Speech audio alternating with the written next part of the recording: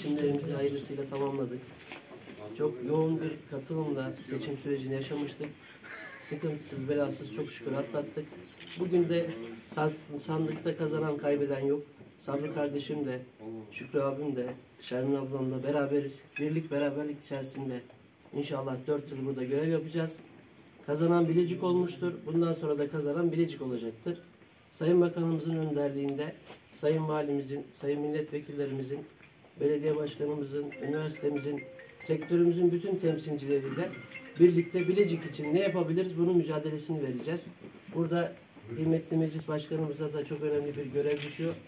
İnşallah bu dört yılı beraber olacağız. Ben bütün seçmenlerimize, meclis üyelerimize verdikleri destekten dolayı çok teşekkür ediyorum. Sağ olun, var olun.